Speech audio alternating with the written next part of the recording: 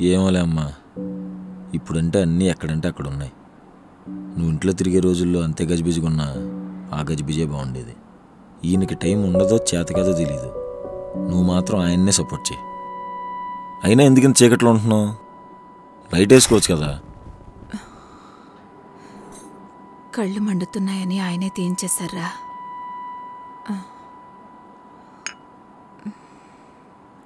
ఈ టైంలో నీ పక్కన లేకుండా విడిగా ఉంటున్నానని నన్ను తిట్టుకుంటున్నావు కదమ్మా. నా దగ్గరుంటే నువ్వేం రాయలేవురా. అదే దూరంగా ఉంటే ఎంతో కొంత రాస్తావు. అది చాలేరా నాకు. కానీ నాకు మాత్రం అసలు నచ్చట్లేదమ్మా. చాలా గిల్టీగా ఉంది. కానీ ఏం చేయలేకపోతున్నా. అయినా అంత ఇబ్బందిగా ఉంటే వచ్చేయచ్చు కదరా. ఏమో అమ్మా. నాకు అనిపించింది మాత్రం ఒక్కటే. నేను నాన్న దగ్గర కంటే నీ దగ్గర ఎక్కువ ఉన్నా. మన ఇద్దరం కలిసి ఉంటే ఇప్పుడు ఆల్రెడీ బలంగా ఉన్న రిలేషన్ ఇంకా బలంగా తయారవుతుంది. అది బ్రేక్ అయితే అంతకంటే బలంగా బాధ వస్తుంది. ఇప్పుడంటే ప్రేమ కాబట్టి మన ఇద్దరం పంచుకుంటున్నాం. అదే బాధ వస్తే పంచుకోవటానికి నువ్వు ఉండవు. ఇంక నేను ఎవరికి చెప్పుకోను? అందుకే నేను దూరంగా ఉంటున్నా.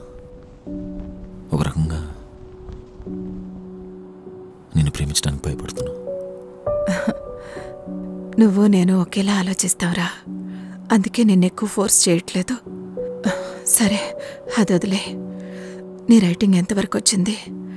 కొత్త కథ ఏదైనా మొదలు పెట్టావా? ట్రై చేస్తున్నా కానీ ఏది కుదరట్లేదు. అవును నేరి ఎంతసేపు మాట్లాడతారు ఫోను? ఈ మధ్య ఎక్కువసేపే మాట్లాడుతున్నారా? ఏదో పెద్ద కేసే అనుకుంటా. సరే. నువ్వు నేను వెళ్ళి పిలుచుకొస్తా. భోజనం చేద్దాం. టాబ్లెట్ తీసుకున్నావా? వేసుకుంటారా? సరే ఉండి నేను పిలుచుకొస్తా. ఊరుకో ఊరుకో. ఏం అవ్వద్దు. అయినా నేను వస్తున్నా కదా. నేను దగ్గరుండి చూసుకుంటాను రాదుగా మేం కంగారు పడుకో. అదే నేను వస్తున్నాను చెప్పాను కదా. ఆ, అవునవును. అవును. అదే అదే. బెయిల్కి అన్ని పేపర్లు రెడీ చేశాను. ఆ, మీరేం కంగారు పడకండి. ఇప్పుడు నేను వచ్చాక అన్ని విషయాలు మాట్లాడతా. నేను వస్తున్నా ఉంటాను. ఎప్పుడు వచ్చావురా? చాలాసేపు అయింది. సరే ఫోన్ చేసేళ్ళు. నేను ఆఫీస్కి వెళ్తున్నా. సాయంత్రం వచ్చేప్పటికి లేట్ అవుతుంది. కొంచెం లక్ష్మి వచ్చేదాకా కాస్త అమ్మ దగ్గర ఉండు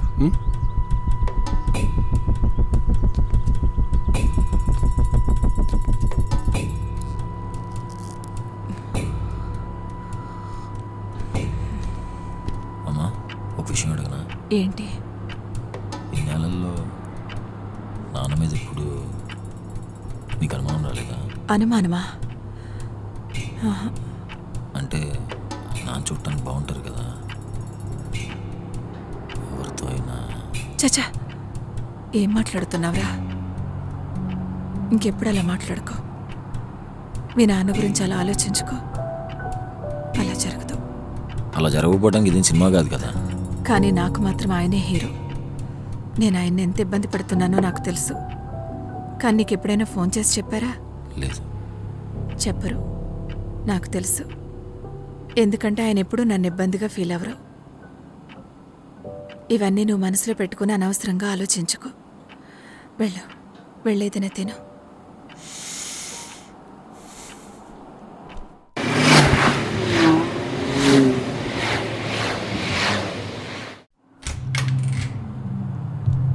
హాయ్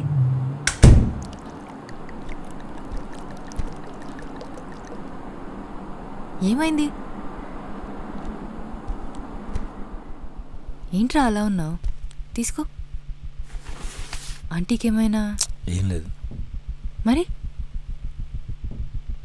డాడీ గురించి ఒక విషయం తెలిసింది. ఎలా చెప్పాలో తెలియట్లేదు. టెన్షన్ పెట్టకుండా చెప్పు. Daddy's having an affair what? I you serious ఎలా తెలుసు? ఇవాళ పొద్దున్న డాడీ బాల్కనీ దగ్గరికి వెళ్ళాను. ఎవరితోనో ఫోన్ మాట్లాడుతున్నారు. నేను దగ్గరికి వెళ్ళగానే టాపిక్ మార్చేశారు. ఏదో కోర్టు పని అని చెప్పి టాపిక్ డైవర్ట్ చేశారు సడన్గా వేరే పని ఉందని చెప్పి బయటికి వెళ్ళిపోయారు. తనతోనే అని ఎలా తెలుసు? టోన్ లీలా. మాట్లాడుతుంటే నీకు ఆ టోన్ అర్థమైపోతుంది కదా. ఆయననే హర్షగాడికి కూడా అప్పటికి చెప్పాను. ఆయన ఫాలో అవ్వమని చెప్పి. అనుకున్నట్టుగానే హోటల్లో వాళ్ళిద్దరు కలిసి ఉంటాడు చూశాడు. Don't jump to conclusions Aravind నిజంగానే కేసు పని మీద అయ్యి ఉండొచ్చు కదా. లేదు లీలా ఇది ఫస్ట్ టైం కాదు. నాకు చాలా రోజుల నుంచి డౌట్ ఉంది. ఇవాళ కన్ఫర్మ్ అయింది. అనుమానం ఎప్పుడు స్టార్ట్ అయింది అసలు? చిన్నప్పుడు రాధికని ఆవిడ పేరు మీద ఇంటికి లెటర్స్ వచ్చేవి. అవి వచ్చిన వెంటనే ఆయన కళ్ళల్లో ఎక్స్ప్రెషన్ మారిపోయేది. ఫోన్కి మెసేజ్లు వస్తే వెంటనే అలర్ట్ అయిపోయేవారు. ఇన్ఫ్యాక్ట్ పేర్లు మారుతూ వచ్చినాయి. నంబర్ ఉందా ఒకటి రెండుసార్లు ఫోన్ కూడా చేశాను. తను కూడా మాట్లాడింది. కానీ మన అంత ఎందుకు మాట్లాడుతున్నాం అని చిన్నపిల్ల అడగలేము కదా. బట్ వాన్ చేయొచ్చు కదా. ఎప్పుడు క్లియర్గా ఉండేవి కాదు లీలా. గట్టిగా అడగటానికి మన దగ్గర ప్రూఫ్స్ కూడా ఏం లేవు కదా. సడన్గా ఒకరోజు డిన్నర్కి అని చెప్పి ఇంటికి తీసుకొచ్చారు. తన క్లయింట్ అని పరిచయం చేశారు. ఆ రోజు ఆయన కళ్ళలో ఒక స్పార్క్ కనిపించింది. Shit I don't know what to say to this నాకే అర్థం కావట్లేదు. మా డాడీని చూసే పర్స్పెక్టివ్ మారిపోయింది. కానీ నాకెందుకో నువ్వు ఓవర్ రియాక్ట్ అవుతున్నావు అనిపిస్తుంది అరవింద్. వాళ్ళ కాన్వర్సేషన్ చదివి చెప్తున్నాను లీలా. వదిలేలే ఆంటీకి ఇంకా ఎంత టైం ఉందన్నారు డాక్టర్? Maximum three months. ఇలాంటి టైంలో ఆంటీకి చెప్తావా?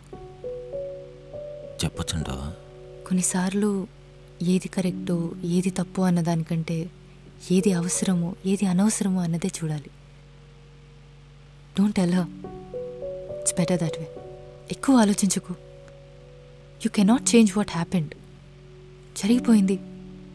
అయినా అంకుల్ ఎప్పుడు మిమ్మల్ని సరిగ్గా చూసుకోకపోవడం అంటూ జరగలేదు కదా. You always loved you Aravind తప్పులు అందరూ చేస్తారు. ఇక్కడ తప్పేంటో అర్థం కావట్లేదు. అఫైర్ ఉండటమా? లేకపోతే ఉండి కూడా మమ్మల్ని ప్రేమించడమా అందుకే చెప్తున్నాను. ఎక్కువ ఆలోచించకు. పడుకుందాం ఇంకా.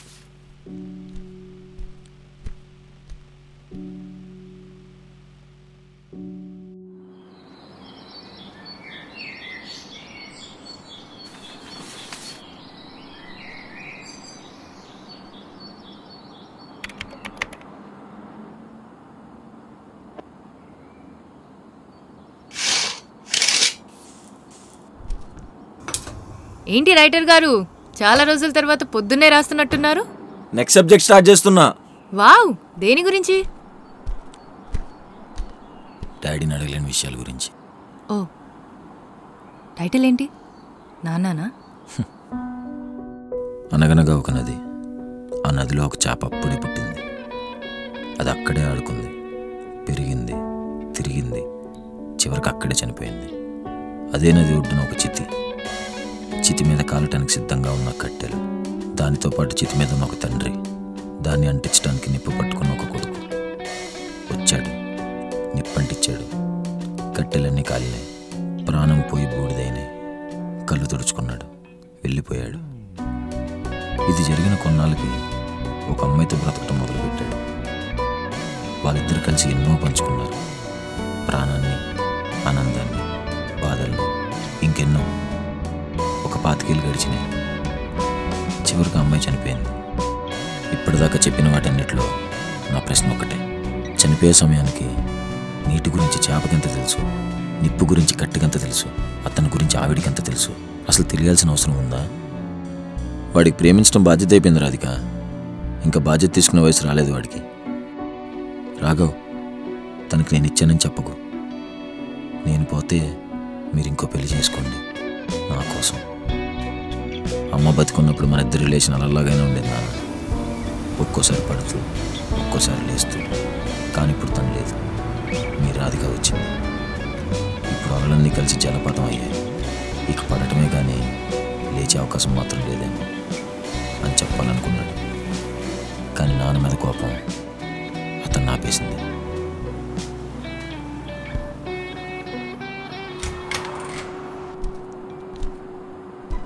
హాయ్.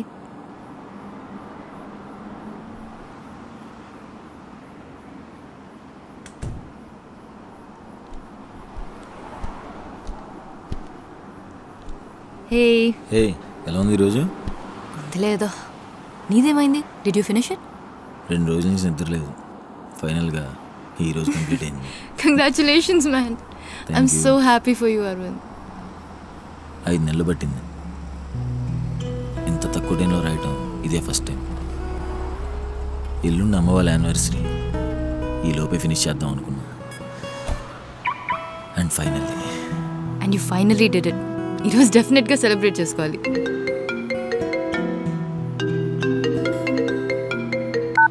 హలో ఎరా ఎలా ఉన్నావు? ఇంటికి వచ్చి ఎన్ని రోజులైంది? ఇప్పుడు ఎందుకు కాల్ చేశారు?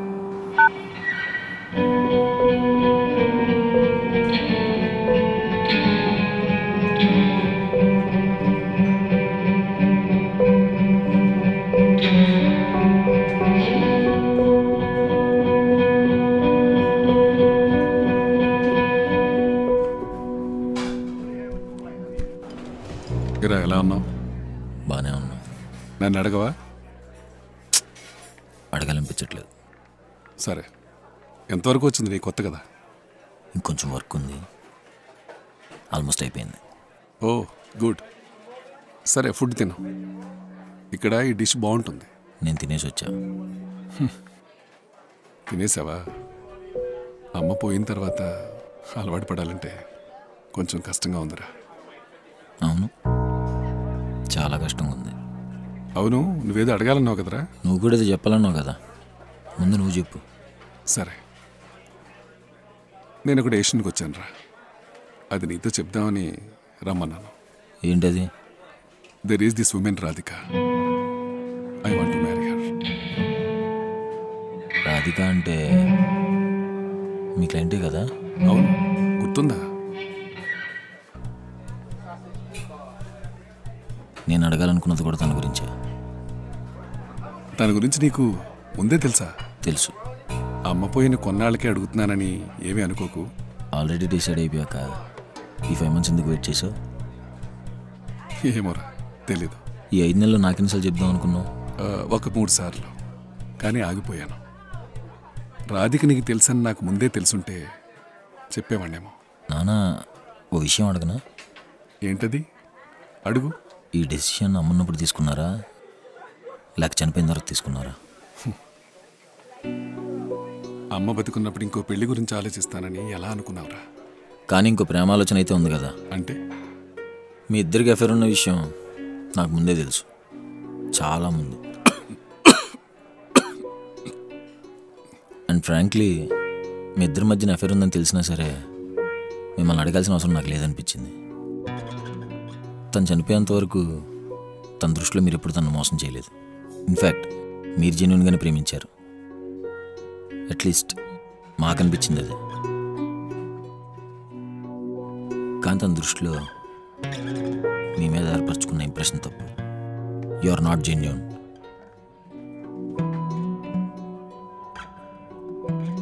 పాతికేళ్ళు ప్రేమించిన ఒక మనిషి గురించి తను పూర్తిగా తెలుసుకోకుండా చనిపోతే ఇంకా పాతికేళ్ళు కలిసి ఉండాలని అర్థం ఏంటి? అంతే. అదొక్కటే. మీరు పెళ్ళి చేసుకున్నా నాకేం నష్టం లేదు చేసుకోపోయినా నాకు వచ్చే నష్టం ఏం లేదు.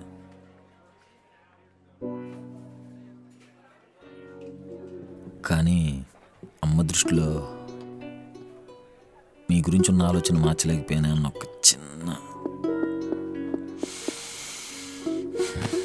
అరవింద్ నేను ఒకటి అడగనా?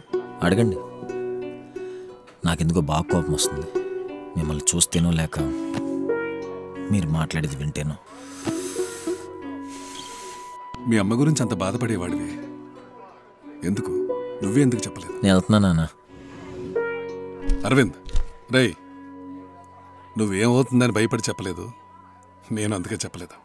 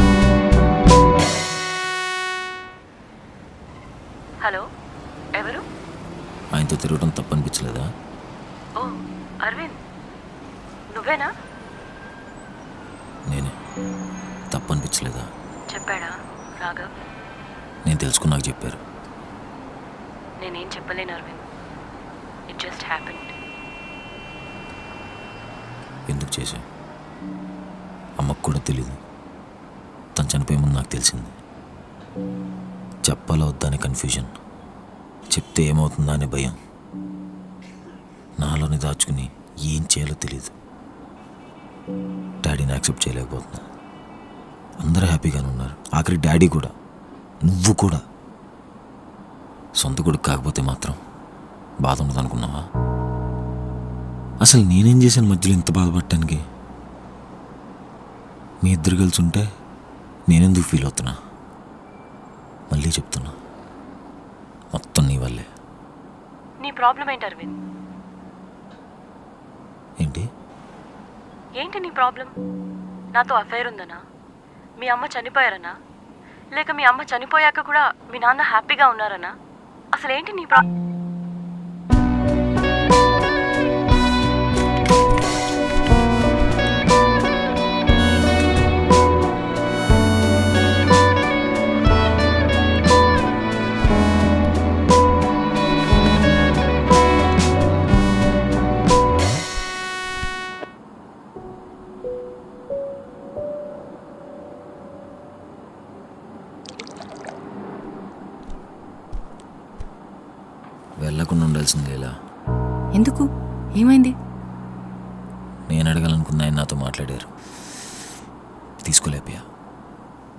రెస్పాండ్ అవ్వాలో కూడా అర్థం కాలేదు. అరవింద్ వద్దన్నాడా? అదేం కాదు. ఆయన రాధికని పెళ్ళి చేసుకుంటారంట. ఓ ఎప్పుడంట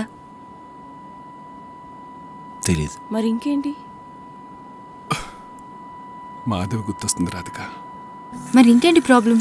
డాడీ మూవ్ ఆన్ అయిపోయారు కదా. పాస్ట్ ఇస్ పాస్ట్ వదిలే అరవింద్. నాకెవరితో అఫేర్ ఉంటే నీకు ఓకేనా? అది వేరే అరవింద్. చెప్పడానికి ఆంటీ ఇప్పుడు లేరు. ఫిజికల్గా అమ్మ నాతో లేకపోయినా అమ్మనే తట నాతోనే ఉంది.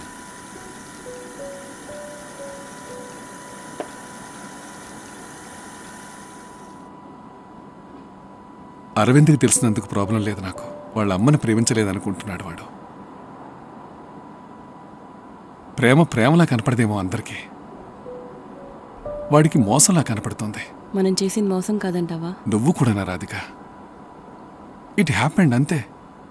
రీజన్ నాకు తెలీదు. అయినా వాళ్ళ అమ్మకి తెలియకుండా నీతో గడిపానని బాధపడుతున్నాడంట వాడు. తెలిసి అలా చేస్తే సరిపోయేదా వాడికి? రిలాక్స్ రాఘవ్. ఇప్పుడేం చేయాలో ఆలోచించు. పోనీ నేను మాట్లాడినా వాడితో? వాడిని కన్విన్స్ చేయాల్సిన అవసరం లేదు నాకు. చెప్తే అర్థం చేసుకుంటాడు అనుకున్నాను కానీ కుదరలేదు.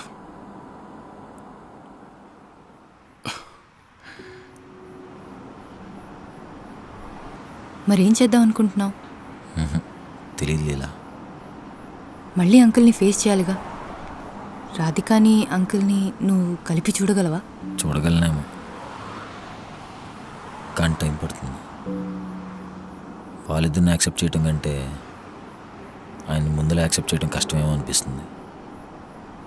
ఆంటీ లేరు అరవింద్. ముందు అది యాక్సెప్ట్ చేయి. తప్పులు అందరూ చేస్తారు. ఇట్స్ ఓకే అదే సమస్య ఇక్కడ. ఆయన చేసిన తప్పులా చూస్తే ఆయన మోసం చేసాడేమో అనిపిస్తుంది.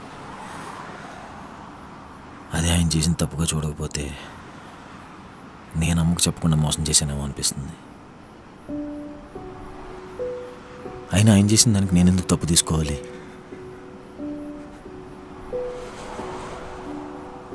కొడుకైతే మాత్రం ఆయన మోసం నేను ఎందుకు పంచుకోవాలి?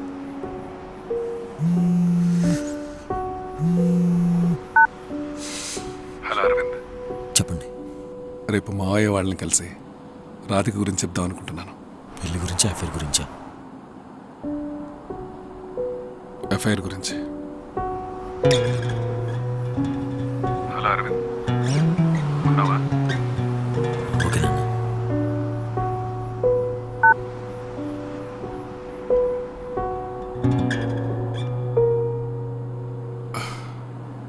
It's okay Raghav everything will be all right చూద్దాం. రాఘవ్ నిన్నొకటి అడగనా? ఏంటి? నేను చచ్చిపోతే కూడా ఇంతే బాధపడతావా?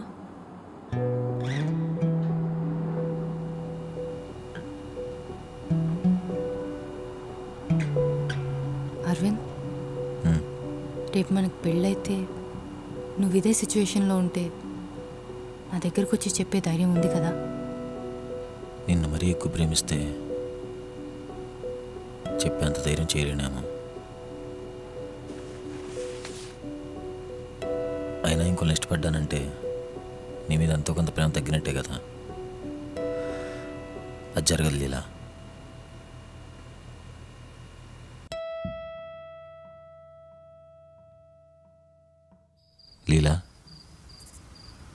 రాయల్ పార్టీకి వెళ్ళట్లేదు. ఎందుకంటే ఆ పార్టీకి వెళ్తే అమ్మలేదన్న విషయాన్ని ఖచ్చితంగా నేను ఒప్పుకోవాల్సి వస్తుంది. అది నాకు ఇష్టం లేదు. సాయంత్రం త్వరగా ఇంటికి వచ్చేసే మనమైనా అమ్మాయి యానివర్సరీ సెలబ్రేట్ చేసుకుందాం. ఉంటా.